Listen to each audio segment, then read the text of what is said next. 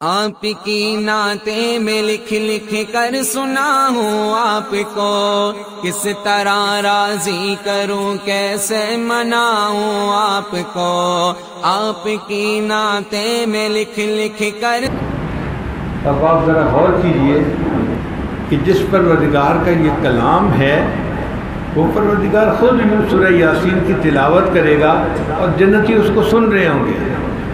کتنا مزہ آئے گا، کتنا لطف آئے گا۔ پھر اللہ تعالیٰ جنتیوں کو اپنا دیدار عطا کروائیں گے۔ یہ دیدار بے جہت ہوگا، بے کیف ہوگا، بے شبہ ہوگا، بے مثال ہوگا۔ اور اس دیدار کے وقت ایک نور کی آندھی اٹھے گی۔ جیسے دنیا میں آندھی آتی ہے نا تو مٹی کی آندھی ہوتی ہے۔ کمروں میں مٹی، شکلوں پہ مٹی، ہر جگہ مٹی مٹی آ جاتی ہے، آندھی کی وجہ سے۔ ایسے نور کی آندھی چلے گی اور ہر جگہ پر نور ہی نور کی کوٹنگ آ جائے گی۔ لکڑی کو جب پالش کرتے ہیں نا، تو وہ اتنی خوبصورت نظر نہیں آتی۔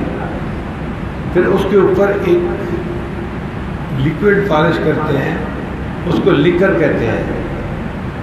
وہ لکر جب کر دیا جاتا ہے نا تو ایسے لگتا ہے جیسے اوپر شیشہ چڑھا دیا کسی نے۔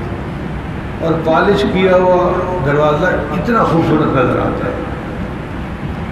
تو جب وہ نور کی آندھی چلے گی تو ایمان والوں کے چہرے پر ایک لکر آ جائے گا اور ایمان والوں کا حسن اتنا بڑھ جائے گا کہ جس کا تصور نہیں تھا۔